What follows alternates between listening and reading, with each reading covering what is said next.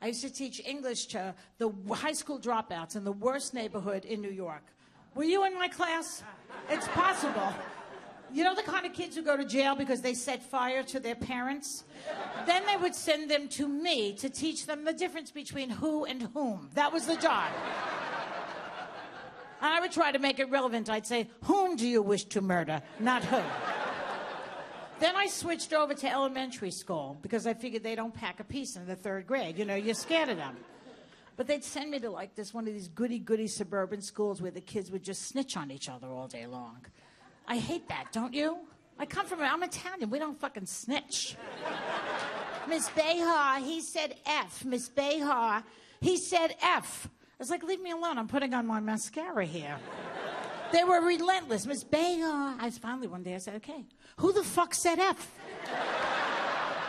who the f-? And I got fired, you know? Yeah, well, they snitched on me, the little bastards. so you may know me from The View. Do you know The View? Well, I had to leave last year because I was getting a contact high from Whoopi Goldberg. All afternoon, I have the munchies. I'm putting on weight. I have no idea why.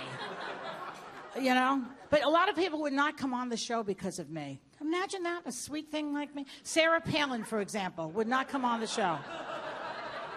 She told Barbara Walters I was too hard on her. Do you know who Sarah is, don't you? Oh, yeah. I said, Sarah, come to New York. We'll shoot some rats in Central Park. We'll look at pictures of Russia at my house. It'll be great.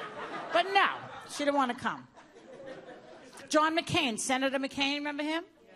Okay, well, he came on one time, and um, I said to him, Senator, you know, you're running these ads that say that President Obama wants to teach kindergarten kids sex education. I said, you know, that's a lie. Why do you say you approve those messages?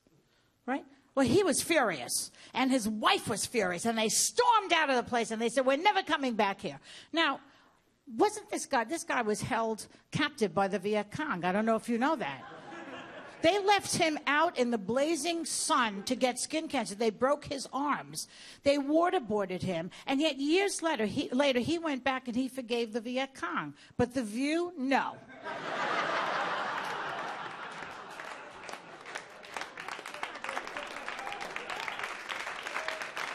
And, and, and what a, what a pathetic group is running for office now. Have you been following this at all?